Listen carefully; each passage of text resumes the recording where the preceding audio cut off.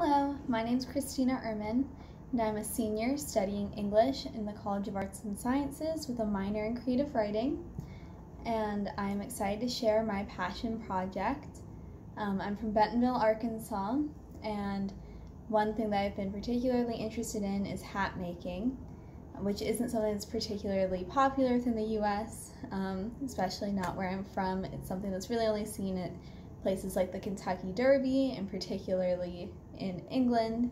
So I was really wanting to get into the art of millinery and what it would be like to make the sorts of fancy hats that you would see women wearing in times, especially like the 1950s and 20s when people would get dressed up to just go to the grocery store and things like that.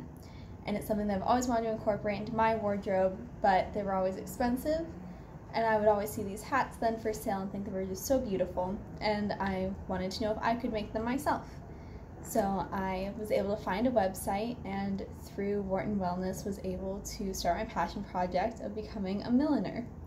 Um, so I'm very excited about the hats that I have. I have one here that's my most favorite one. This is my first hat. I'm excited to share with you all the other hats that I've made this semester. Thank you.